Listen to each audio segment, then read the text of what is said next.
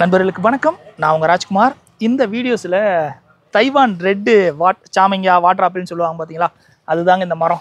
இங்கே பாருங்கள் மரம் ஃபுல்லாகவே காய்கள் இருக்கா? எப்படி இருக்குது பாருங்க. வா எவ்வளோ இருக்குன்னு. இதில் நம்ம ஒரு பழத்தை இன்றைக்கி டேஸ்ட் பார்த்து எப்படி இருக்குது அப்படின்னு தான் பார்க்க போகிறோம் ஸோ அதுதான் இந்த வீடியோஸு. நல்ல இதை விட ரெட்டாக சூப்பராக வருங்க. நான் கையில் கிடச்சதை வந்து பறிச்சிட்டேன்.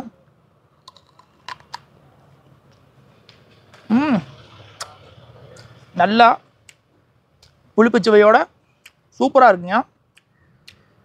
அந்த மசாலா டேஸ்ட்டோட அவ்வளோ நல்லா இருக்குது நான் எப்போ இந்த நர்சரிக்கு வந்தாலும் பழங்கள் வந்து பார்ப்பேன். அதாவது சீசன் அப்போ மட்டும்தான். உள்ள விதைகளே இருக்காதுங்க. இவங்க எல்லாமே இதில் பார்த்தீங்கன்னா பட் பண்ணியிருக்காங்க. வந்தீங்கன்னா அப்படின்னா கிராஃப்டே நம்ம என்ன பண்ணலாம்? வாங்கலாம். சாப்பிட்றதுக்கும் அவ்வளோ டேஸ்ட்டாக இருக்கும். நல்லா பழுத்து நல்லா ரெட் கலர் ஆச்சுன்னா அவ்வளோ இனிப்பாக இருக்கும். அநேகமாக இந்த சீசனில் வந்து பார்த்தீங்கன்னா நான் சாப்பிட்ற அஞ்சாவது வாட்டர் ஆப்பிள்னு நினைக்கிறேன். நிறைய வீடியோஸ் வந்து பதிவு பண்ணியிருப்பேன். வாட்டர் ஆப்பிள் சாப்பிட்லாம். சில கிளைமேட்டுக்கு ஏற்ற மாதிரி வருஷம் ஃபுல்லாக கூட வாட்டர் ஆப்பிள் வந்து காஸ்ட்டே இருக்குங்க. வாட்டர் ஆப்பிளுக்குன்னு தனி மெயின்டெனன்ஸாக இல்லை.